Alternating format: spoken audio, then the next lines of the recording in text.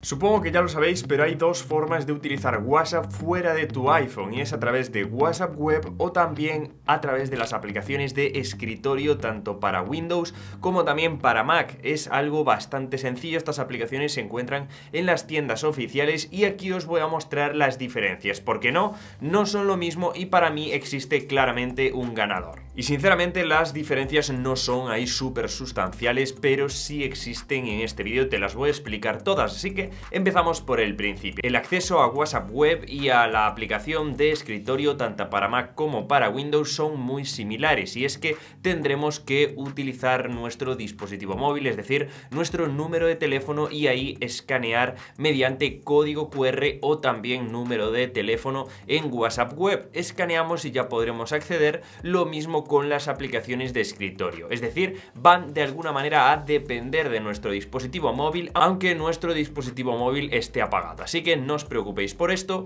y nos vamos ahora a la interfaz porque en cuanto a diseño, en cuanto a interfaz son bastante similares. Nos encontramos al final con una fila o con una columna, mejor dicho, en la parte izquierda donde nos aparecen todos los chats y luego tenemos la pestaña principal que sería donde se despliega la conversación y donde podemos interactuar. Al fin y al cabo el diseño no es que sea pues algo muy diferente y esto es algo positivo ya que prácticamente nos acostumbraremos desde el minuto 1. Igual con los ajustes, al fin y al cabo en los ajustes no tenemos muchos cambios, tenemos prácticamente cosas mínimas para cambiar las notificaciones, la seguridad, la privacidad, para establecer si queremos o no que vean nuestra foto de perfil, la hora de la última vez y demás, incluso el tema, ¿vale? Si queremos cambiar el fondo de pantalla de las conversaciones, el tema en general, aspecto claro, aspecto oscuro y poquito más. Así que de momento, como veis, hasta aquí pocas diferencias. Pero vamos ya a las diferencias que existen. Empezamos por algunas funciones como podrían ser los canales y las comunidades. Estas dos cosas principales de momento solo podemos acceder a ellas desde la versión web. Es decir, desde WhatsApp web vamos a poder acceder tanto a los canales que nosotros sigamos, os recomiendo el de Tu Apple Mundo, por supuesto,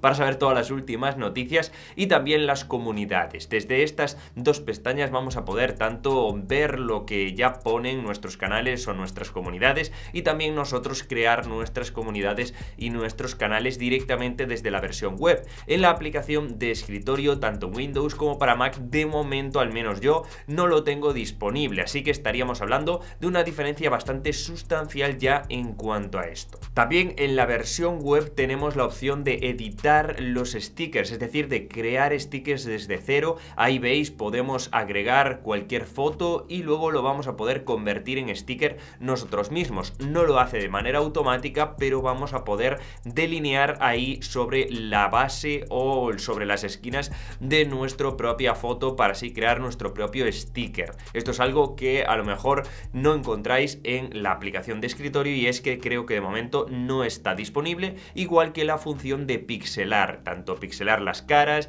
pixelar cualquier cosa que nos encontremos directamente desde la versión web, cuando en la aplicación de escritorio solo tenemos las funciones básicas de añadir una foto y poquito más. Cuando nos vamos a agregar una foto o un archivo o un documento, aquí vemos como hay una opción que no está disponible en la aplicación de escritorio y es la cámara. Como veis, solamente estará disponible en la versión web y a través de la cámara vamos a poder sacar una foto con la cámara webcam, en este caso si tiene de nuestro PC. Así que esto también a tener en cuenta, igual que el bloqueo de pantalla. El bloqueo de pantalla actualmente solo está disponible en la versión web, no entiendo por qué, pero hasta ahora como veis todas las funciones son de la versión web. Bloquear nuestra pantalla es algo bastante habitual, sobre todo si no estamos utilizando nuestro PC para que no entren en nuestras conversaciones y no puedan ahí ver cosas que no queremos. Pero vamos con una cosa que sí tiene la versión de escritorio que no tiene la versión web y es por ejemplo filtrar los chats, por ejemplo por fotos, por los chats que tienen enlaces, por los chats que tienen vídeos, por GIFs, audios, encuestas, solamente esto está en la aplicación de escritorio. En la versión web vamos a poder buscar por chats, pero solamente por nombres, no por elementos que se encuentren dentro de esos chats. Creo que esto ha quedado bastante claro y algo sumamente importante y una de las claves de estas diferencias es en el tema de las llamadas y de las videollamadas. A través de la web no podremos realizar ninguna de estas dos y ni ahora ni en un futuro vamos a poder tenerlas. Y es que estas llamadas y estas videollamadas se realizan con unos protocolos de seguridad que de momento en la web no están disponibles y creo que a futuro tampoco los van a cumplir. Así que que sepáis que WhatsApp Web no permite realizar llamadas de voz ni de vídeo y esto pues ya os digo que son razones técnicas y una mezcla de razones de seguridad. Si quieres en algún momento realizar llamadas o videollamadas no lo podrás hacer desde la versión web. Y por último y no menos importante también gana la aplicación de escritorio de Windows y de Mac en cuanto a consumo de recursos. Si nos fijamos aquí en mi Mac al menos en el monitor de actividad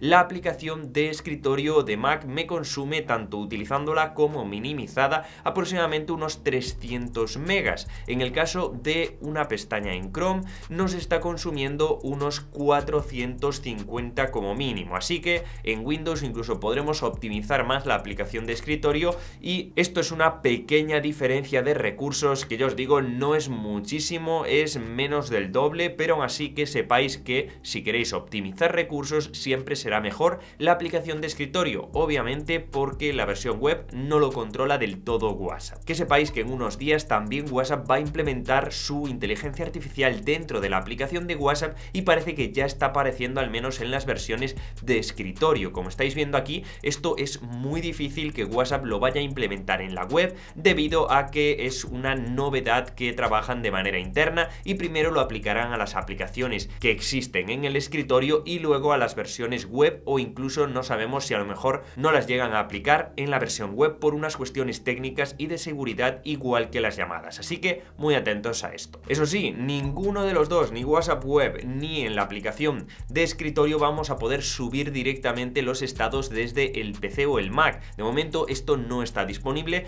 Tampoco compartir la ubicación con tus contactos. Esto es algo que tanto en la versión web como en la aplicación de escritorio, ya os digo, de momento ni siquiera agregar un contacto. Yo no he sido capaz, no sé si vosotros habéis sido capaz, pero creo que no es posible agregar un contacto en estas dos versiones. Tendremos que ir a nuestro dispositivo móvil y hacerlo desde ahí. Así que como conclusión, si tenemos un dispositivo personal, yo optaría por la aplicación de escritorio, tanto en Windows como en Mac, ya que a pesar de que algunas funciones no la tiene, a lo mejor si queremos acceder a canales, pues utilizaría la versión web, pero para el resto de opciones prefiero la aplicación de escritorio. Y es que nos añade, como habéis visto, las llamadas y las videollamadas, que para mí es un pro bastante importante, igual que el consumo de recursos. Eso sí, si estamos utilizando un dispositivo que no es nuestro, que a lo mejor es del trabajo o en alguna ocasión que sea sumamente importante, utilizaría WhatsApp Web, ya que aquí sí tenemos bastantes más opciones, al menos de manera general,